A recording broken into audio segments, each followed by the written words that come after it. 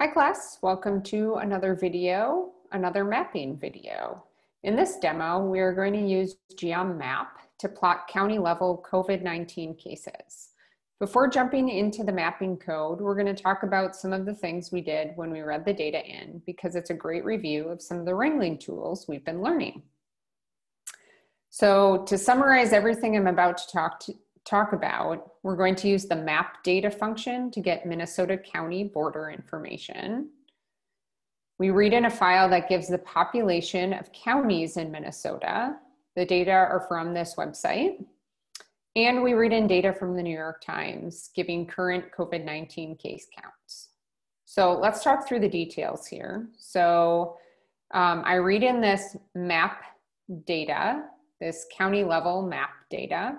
This is from a file that's already in R in the maps package. From that data, so if I just run this piece of code here, highlight it, command return, um, I get every single state. So I'm gonna filter that down to Minnesota. So filter to where the region, if you look, that's the variable there, region. So I'm going to filter that region to Minnesota. And region is currently the state. So once I filter it down to Minnesota, I'm then going to drop that region variable. And then the last thing I do is rename subregion to region because when we do the mapping, it's going to look for a variable called region. So if I run this entire piece of code, which I've already done before I started this video, I get this county MN data and you can see there's long lat. Um, and the region here is the county.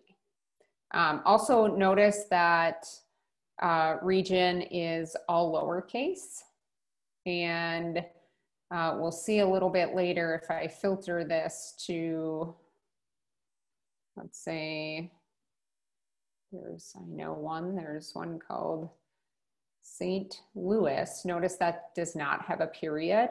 So I'm gonna wanna match this to the other data I'm reading in. So we'll make sure to do those things.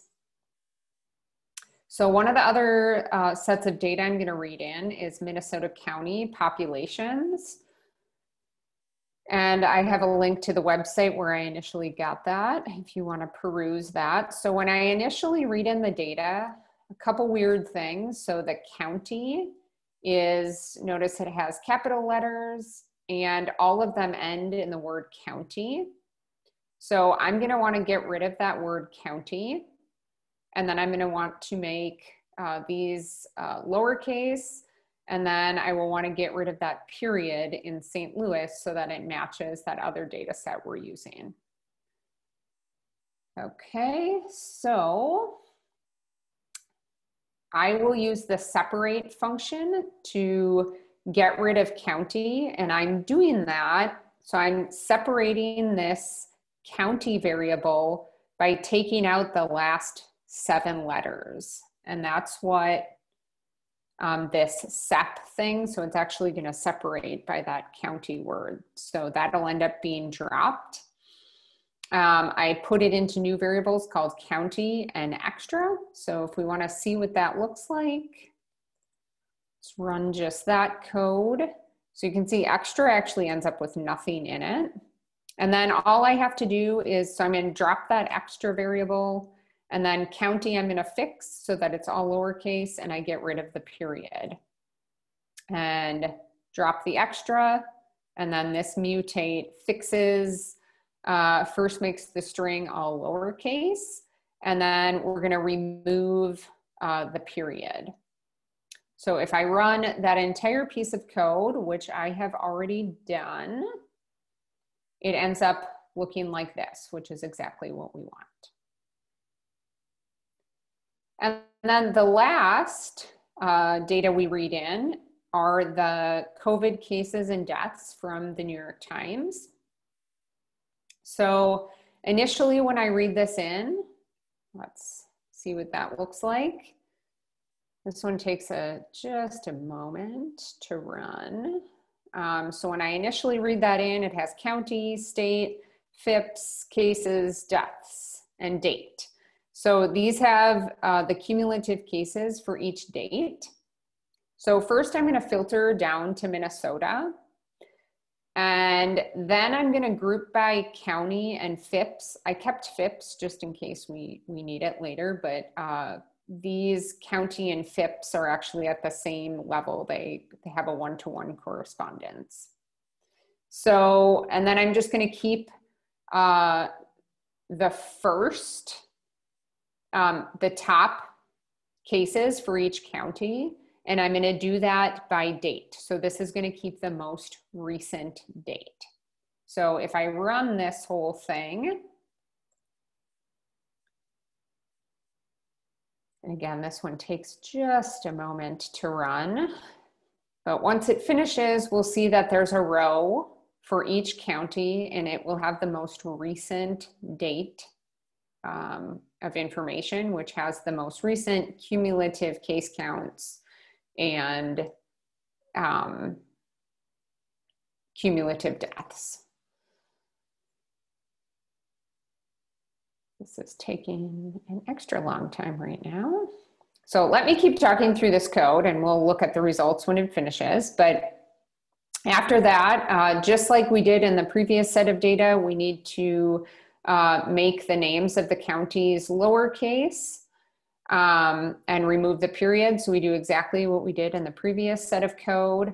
And then the last thing we did, the last thing we do is actually join that population information to this code. Okay, so here we can see that for each uh, county, we have the most recent cases and deaths. Um, so I, this should be all uh, September 18th, which was yesterday. I'm doing this on the 19th and probably the New York Times hasn't updated their data yet. I forget what time they do that.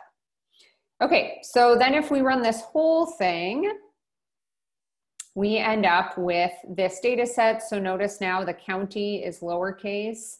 And if we would search for St. Louis County, we can probably find it in here. It would no longer have a period in it, which is exactly what we want. And then also notice that the populations have been uh, joined here. Uh, there is one, one missing value, and that's because um, the New York Times has uh, sort of combined uh, the unknowns together. So these are cases that don't have a known county. And one thing I like to do is check my work to make sure I haven't made mistakes. So I do um, some anti-joins here just to make sure I didn't make any mistakes, which I did at first. Um, so here, the only ones that aren't um, in my Minnesota COVID county files are the unknowns, which I expect. Okay, so moving on to plotting the data. So first we're gonna plot cases by county. So we already have the Minnesota COVID county data. Inside my geom map, I need to give it the map um, and this, I forget what I called it already. So this is our county Minnesota. This is our, what gives the, the borders. So county Minnesota. Then inside the aesthetic, in the map ID, this is the variable from Minnesota COVID County that corresponds to that region variable in map. So um, I don't think I have county. Let's open this up real quick. So we want to find the variable in Minnesota COVID County that corresponds to the region variable in this mapping data set. So the variable that corresponds is called county. So here the map ID is county. Again, that corresponds to the region variable inside of our map data. So in that county MN data, it's called region. And then we're gonna fill this. Let's go back to this. We are going to fill this by cases, which again is the most recent cumulative cases. The other thing we need to do with this function, and I don't have a full understanding of why, is in order to make the map look nice, we need to expand our limits to essentially the entire area that um, the county data covers. So we'll put in county MN and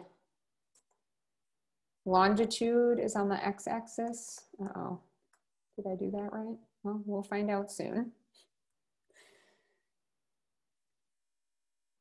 Oh, good, I did it right. So I'm embarrassed to admit this, but I sometimes mess up my longitude and latitude. All right, so this is what our map looks like. Um, it looks decently nice. Um, but one thing you might notice is that this really just corresponds to the populations of the counties. I mean, not completely, but but um, you know, Hennepin County has the most cases and Hennepin County is the most populous county.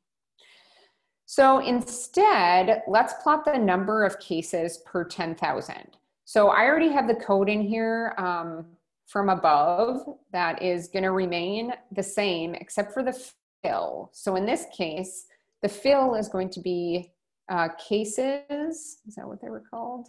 Yes, cases And I'm going to divide by population. And then I'm going to multiply by 10,000. And that'll give me cases per 10,000. So um, this looks um, better. We can actually see sort of where there's actually high numbers of cases um, relative to the population. Couple things I don't like. First, this map looks sort of squished our background of this legend is now covering a lot of the map. Um, and I just want to change the color scheme for fun and add some labels. So I think I've uh, said all of these things. So let's first add labels. So I already have a start. So I'm going to change my title to um, Minnesota COVID 19 case counts per 10,000. And I'm going to actually get rid of the fill title because I think, or the fill label, as long as I have an appropriate title, I don't need a title there. And let's change the fill scale. So I'm going to do scale color, and I'm going to use my Viridis scale. And I'm going to change this to, uh, I forget the one I did last time. Let's try Inferno this time. Let's get rid of the legend background. And again, we do that inside of the theme options and it's, oops, legend background and we don't want it. So that's where we use element blank. That tells it don't put in a background. And then um, I want to play around with the way our figure looks. So to me, it looks sort of too squished down, uh, not tall enough. So I'm going to do that by adding the figure width. Um, I'm going to have that be three. And um, let's try an aspect of 0.9. And these things you just have to play with. And I cheated a little because I already played with these things. Um, okay. Oh, I made a mistake. So instead of doing scale fill viridis, I had done scale color viridis. That's why my color hasn't changed. This should be scale fill viridis. So let's change that. It's a mistake I make all the time. Okay, so I think I like the way this is looking better. I'm sure I could make many more improvements, but for now I will just leave this as is. And I hope this tutorial was helpful in uh, learning how to do some mapping using geom_map. That's all I have for now. Bye-bye.